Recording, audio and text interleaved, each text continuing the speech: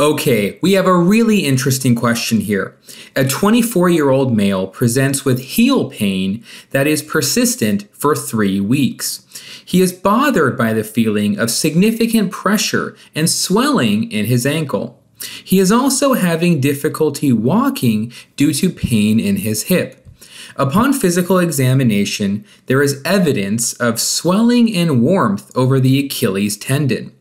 Imaging of the sacroiliac joint reveals soft tissue involvement and narrowing of the joint spaces. This patient also appears to have a low to moderate kyphosis of his spine. He has no family history of any bone or rheumatological diseases. The patient most likely presents with clinical features of which disease? Answer choice A, osteoarthritis. Answer choice B, ankylosing spondylitis. Answer choice C, reactive arthritis. Answer choice D, osteoma. Or answer choice E, fibromyalgia. Now take a moment to come to an answer yourself before we go through it together.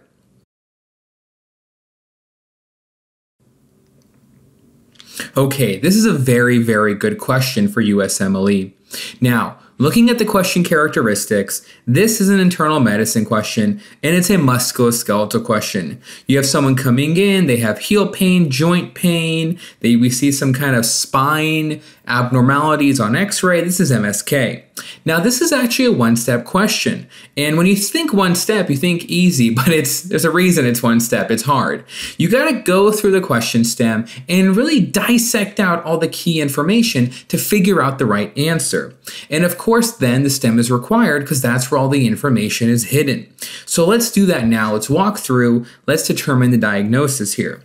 Now, Looking at the question stem, we have a young, otherwise healthy male, 24 year old guy, and he's coming in with a chief complaint of having pain in a specific region of his foot. He describes heel pain, he describes ankle discomfort, they mention Achilles tendon swelling, and that pain is persistent and it's been there for three weeks. Okay?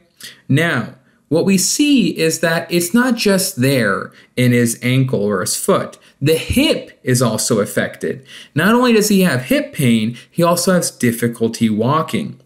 Now, in addition to the having both hip and ankle, they actually give us some imaging findings in the question where they say that he actually has some degree of soft tissue involvement and narrowing of his joint spaces. A normal 24 year old guy should not have swelling or narrowing, especially of joint spaces.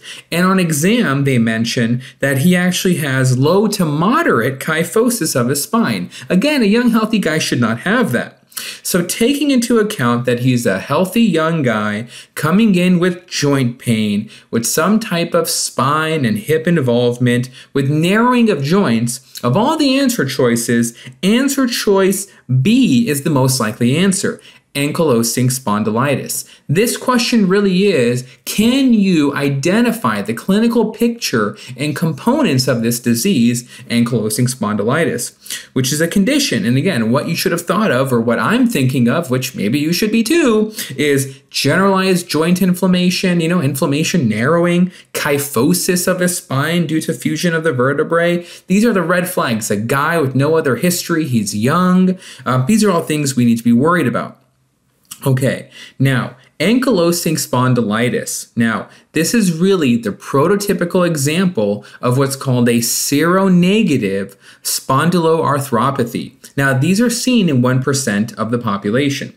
Now, when we see that it's ankylosing spondylitis, we need to think okay, how is this different than arthritis? Well, answer choice B is the right answer, ankylosing spondylitis. But A is osteoarthritis and C is reactive arthritis. Now, those are arthritis. Now, what is arthritis? This is high yield. Arthritis is a group of disorders that affect the joints. And the main symptoms you have in these patients is joint pain and stiffness. Now, the most common top type of arthritis is what's called osteoarthritis, or answer choice A here, which is joint degeneration over time that can happen to injury and malformation, and that causes pain and stiffness.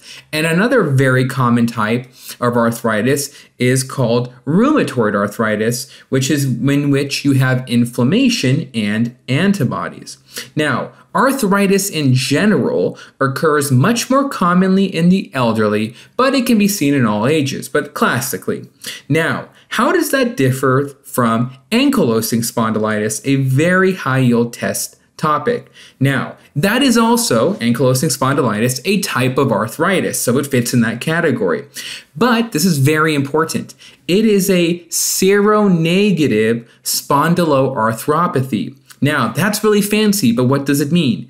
It means that it affects the joints of the spine, hence the word spondyloarthropathy.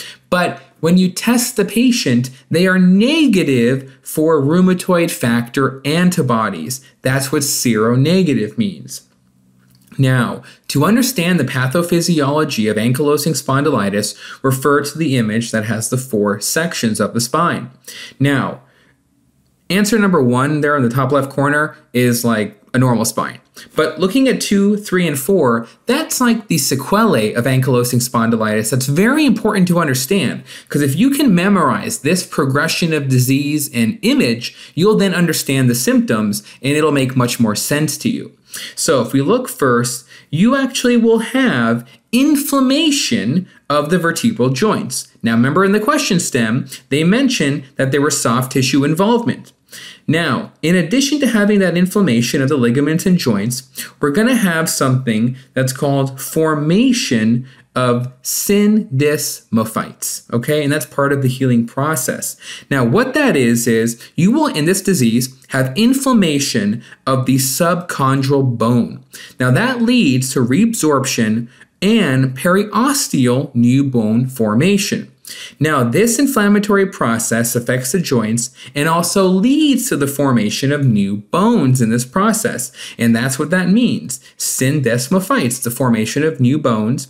And over time, you can actually have these bones fusing together and then you will actually have fusion occurring within the spine or vertebral fusion, and that can commonly be seen as to what's called bamboo spine, in which the spinal cord looks like a piece of bamboo because the different bones are being fused together. Very high yield. Now, that's the pathophysiology of this condition, and if you imagine the swelling, the new bone formation, and the fusion, you can understand why you would expect to see signs of swelling on imaging, why you would have fusion over time, as to what's seen in ankylosing spondylitis. Now, the cause of this condition really is unknown. It's a combination of genetic and environmental factors, but very, very high yield tattoo this in your brain is that it has a very high association with being HLA B27 positive. And this is actually expressed in around 90% of people who have ankylosing spondylitis. Now, this arthritis is more commonly seen in young people. Like we said, arthritis is usually in the old, and you can imagine some old lady having osteoarthritis, but this ankylosing spondylitis is usually seen in the young and seen actually more in males than in females. You know, classically, arthritis is seen in women, rheumatoid very commonly in women. This is a unique condition where it's in young people, not old, and it's in guys, not girls. And the treatment of ankylosing spondylitis is really symptomatic. There is no cure available, and treatment includes medications such as NSAIDs, steroids, uh, disease modifying agents and biologic agents, and even surgery, and of course, physiotherapy.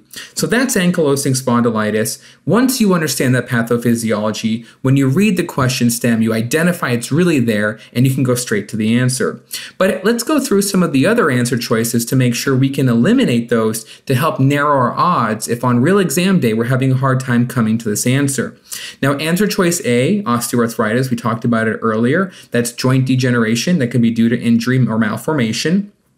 Now, that's going to be seen with someone who's usually older, uh, who has kind of a chronic condition or some kind of injury, not in a young guy. So we don't expect that. Reactive arthritis, answer choice C, can actually be seen a few weeks after a gastrointestinal or genitourinary infection, and it can also have urethritis or conjunctivitis. There's no preceding infection here that we can see. Now, so we can get rid of reactive arthritis because we have nothing to react to. Now, answer choice D is in osteoma. There's no comment here about any kind of B type symptoms, no mass, no weight loss, uh, no night sweats, nothing for us to think about a bone tumor. And we can really cross this one off. It doesn't even fit. And the last one is answer choice E, which is fibromyalgia, which this is actually a systemic joint pain that patients have. And they actually have trigger points that you can hit to diagnose the condition.